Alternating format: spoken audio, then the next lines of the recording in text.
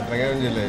¿Y entonces cómo pasó todo? Explícame, Víctor. Bueno, yo estaba del lado atrás del taller, del lado, lado abajo del taller. Entonces los muchachos, un cliente me regaló un, un- un refresco.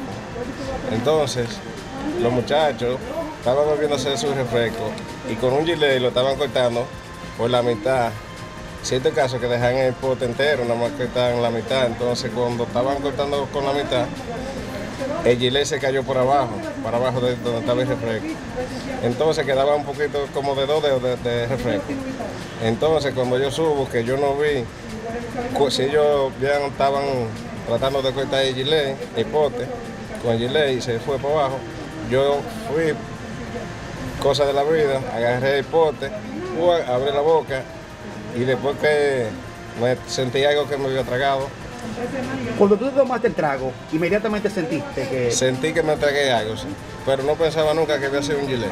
Entonces luego, ¿qué sentiste en adelante? No, luego no sentí nada por el momento.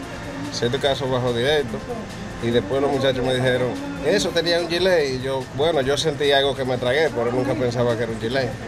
O sea, en ningún momento te afectó la garganta ni nada de eso. No, no, ni la garganta ni nada de eso me afectó. ¿Y qué pasó con el gilet entonces? El gilet se duró como dos días allá adentro.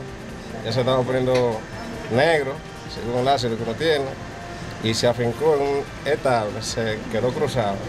Pero no me afectó nada, de gracias a Dios, de, de ningún Te operaron, te operaron, te, lo, Sí, trajeron ya. Sí, sí, ya lo traían aquí.